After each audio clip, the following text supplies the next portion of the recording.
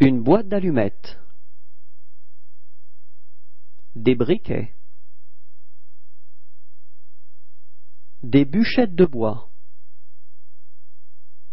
Du charbon de bois. Du cirage. Un désodorisant. Un insecticide. Un piège anti-cafard. Du papier aluminium.